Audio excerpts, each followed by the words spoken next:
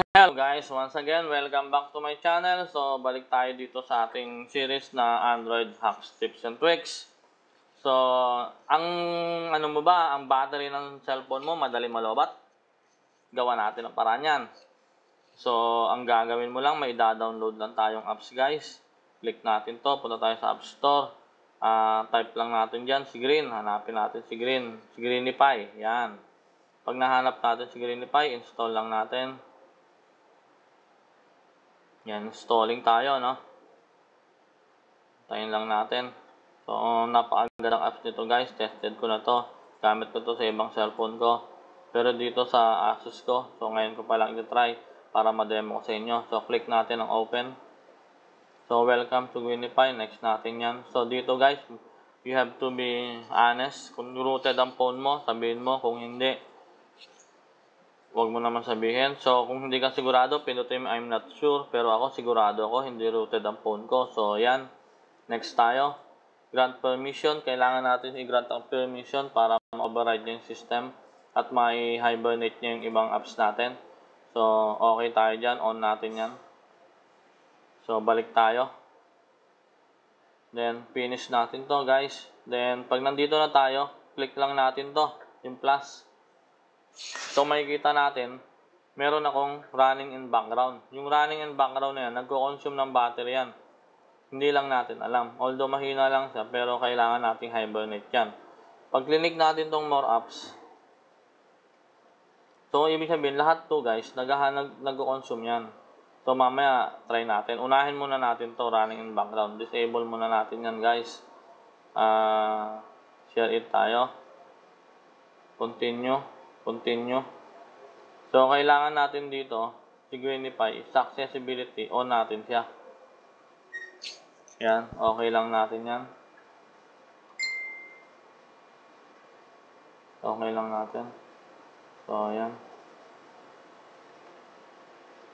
Ang bagal ng cellphone ko, di ba? Yan, on na siya. So, okay na natin yan. Yan. Sa una lang naman yan. Then, ito, pwede na natin tong i-hibernate. Ayan.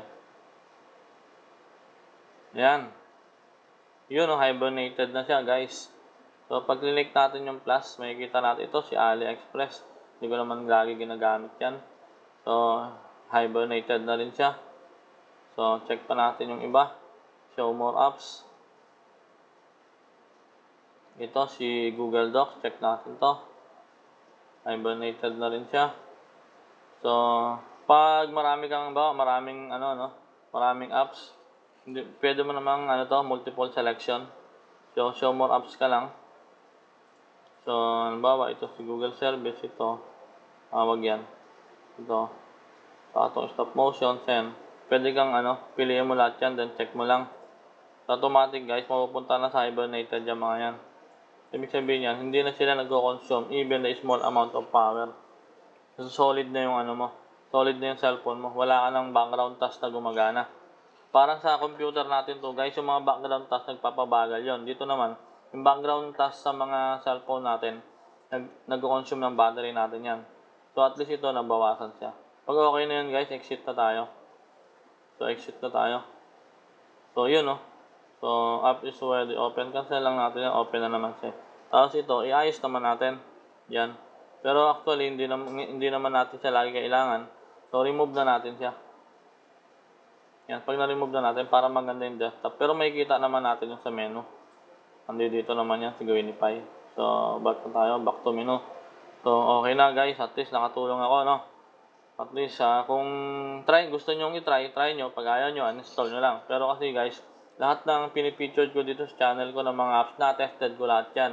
At pag maganda, pinipicture ko sa inyo, sinasabi ko sa inyo. Pero pag pangit, at wala namang wentang apps, hindi ko inaan, hindi ko pinakikialaman yon So, ito talaga maganda to gamit ko to guys.